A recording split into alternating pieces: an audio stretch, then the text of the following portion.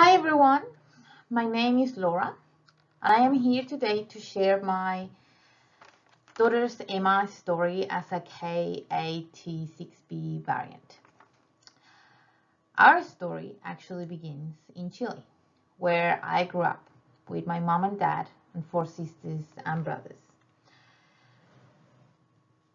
As many of you, I grew up um, watching the Disney movies um, that sweet happy ending. Um, that led my life to come to the other side of the world. Looking for to finish my studies in architecture and to find that sweet happy ending. I came to this amazing country almost 10 years ago. And only two years later, I found the man who will become my husband and Emma's dad. I thought to myself, this is my happy ending, especially because we felt pregnant, which I was even sometimes told that I could not have kids. However, that dream came became quickly a nightmare because I was diagnosed with polyhydramnios, which is um, too much amniotic fluid. Emma was born on the 6th of March 2014 in Canberra, the capital of Australia. She was 48 centimeters and 2.8 kilograms. Emma had to be pulled out with forceps. She was floppy. She was not breathing and she had to be um, carried straight away to the ICU. I didn't actually saw her until two days later where I could um, get up and see her in the ICU because of my surgery. I got to go home three days later, but Emma had to stay, which made me feel like I had abandoned her in some way. It felt like I wasn't even a mom. I had a child, but I got to go home without my child.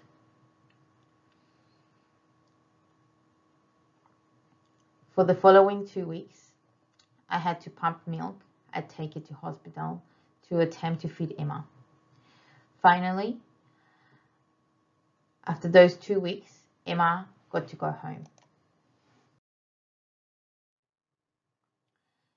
She was still not drinking that much uh, milk and she had a lot of issues and features uh, which led the pediatrician to think that Emma had a genetic condition. However, in Canberra, they didn't have the specialist that Emma needed. So at six months, we made a decision to move to Melbourne. So we could access the Royal Children's Hospital as well as Monash Genetics. After a year and a half, um, genetics um, team in Monash tested the KAT6B variant and it was successfully diagnosed as Ohdo syndrome. However, the name didn't actually told us any information. We had a diagnosis, but the information there was next to nothing. Emma spent a lot of time in hospital uh, due to chest infections, um, lack of um, uh, milk, and she was constantly dehydrated. Um, she her colds, like in a normal child, would last a week and a half, but in Emma's case, they quickly become these pneumonias that could not let her breathe, affected her heart, and all these things.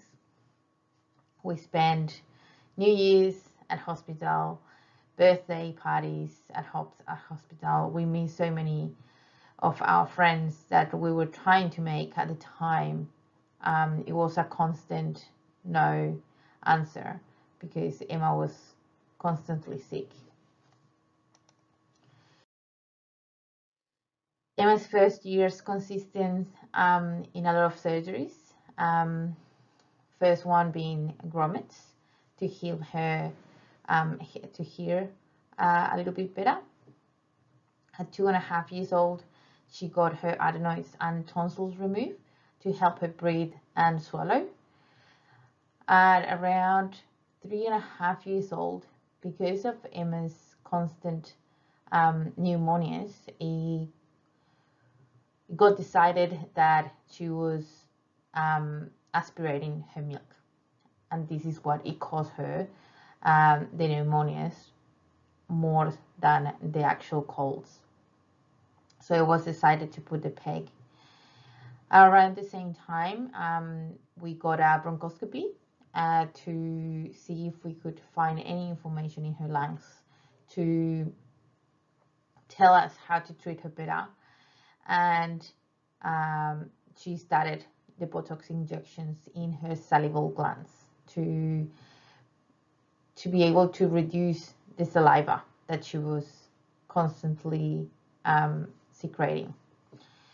Around four years old, um, Emma started school or kinder, which um, helped her copy her peers in their eating and felt more comfortable around food. Therefore, at four and a half years old, um, the peg got removed. At around four years old, um, she got a second bronchoscopy to help her clear her lungs of all the residual mucus um, that was left from the many, many um, pneumonias in the past. Uh, because of Emma's low muscle tone, she could not bring that up on her own. At around uh, seven years old, um, Emma had a bad fall from stairs, which caused her knee to be dislocated. So they had they had surgery for her patella to be relocated, and they decided to do her toes as well because she had curly toes in both feet. Emma gets regular annual blood test uh, to test for her thyroid, iron, and all her vitamins. Uh, Emma has attended a dietitian, speech pathology, OT, physio, cardio, and eye doctors since birth. We have had sleep studies, neurology testing, swallowing test, and Holter monitor every six months to see her um, heart development.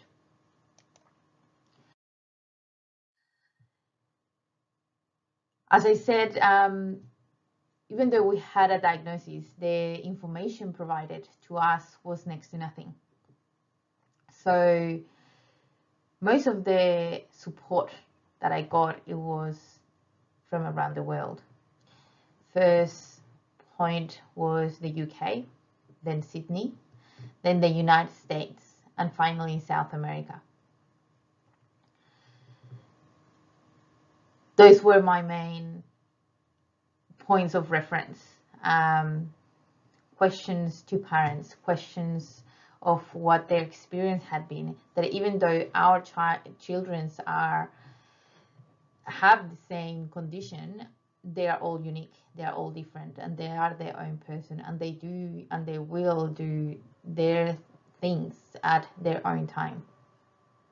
That is something that I learned in our journey. As many of you, I not only became a mother, but also a therapist, a doctor, a nurse, and an expert on Emma. One of those contacts um, sent me a book when it, she saw Emma on Facebook wearing the, her eye patch um, to correct her lazy eye. This was the first time I saw Emma making a real connection with her book, making that relationship with what she was reading and what, what I was reading and showing her in the photos, in the pictures, that her eye was the same.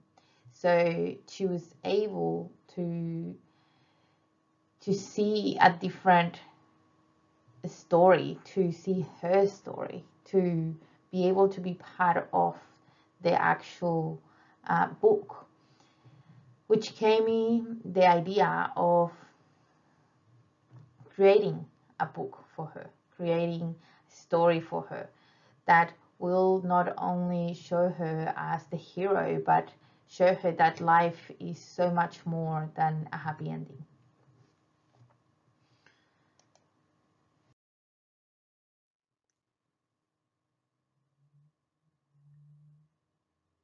Emma's life gave a 180 degree flip when around four years old, when Emma started kinder, to so for me to be able to finish my studies, she swallowed a rock at kinder where she had to be hurry up to emergency and finally have surgery to have the rock um, taken off.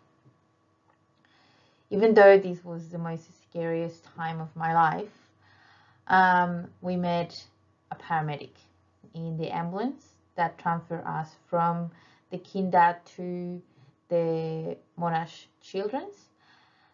And this guy told us about this amazing school called Nepean. This school wasn't just a school. It was a place where she was going to be safe. There was nurses on site, a clinic with pediatricians, and all the therapists were on site. So six months later, Emma started school at Nepean.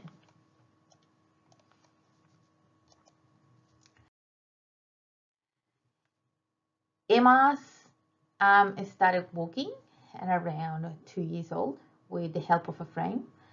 Um, even though her milestones um, were looking a little bit different for what we expect, um, she still did it. She did her own thing. She did it at her own time, and she was very, very brave. She was very happy and she was always showing something new. She started eating or attempting to eat at around one and a half years old. When she started school, communication finally came through and even though her communication didn't look like the other communication of the normal um, expectancy, she was able to communicate what she wanted, what she felt like, and that's one of her biggest goals. Emma has learned sign language and she's able to count to five.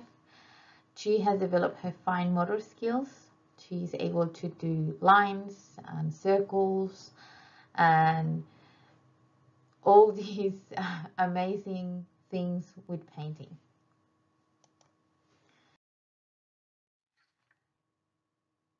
Today, seven and a half years later, Emma has no real health issues.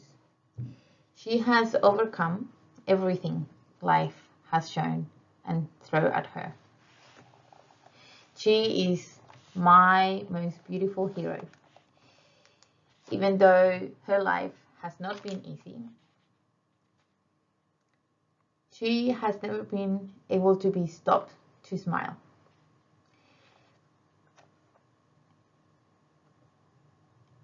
She has kept fighting every step of the way. Because of Emma, I created a book dedicated to all children with disabilities and its called a very special gift.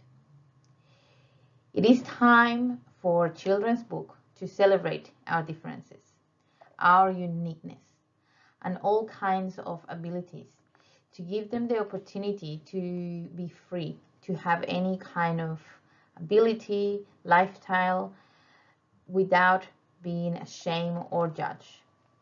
More importantly, the book shows a disability not only as a villain, but also as a hero, as a promise to all kids that disabilities they don't have an ending story. They don't life is not ever an ending story. They, we just need to keep going and something eventually will change and as parents we will be there to celebrate with fireworks inside thank you so much this is a little bit of Emma's likes and life and all her happiness and all her smiles that fills my heart every day. And I'm sure your kids do the same for you. They are the gift and they have shown us so much.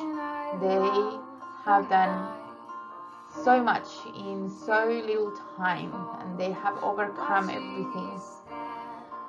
And I would just like to celebrate that. They are all unique. And even though they have the same diagnosis, they will do on her own time. And it's our job to just accept them and love them and be their guide and They are just the angels that have come to our lives. Thank you so much.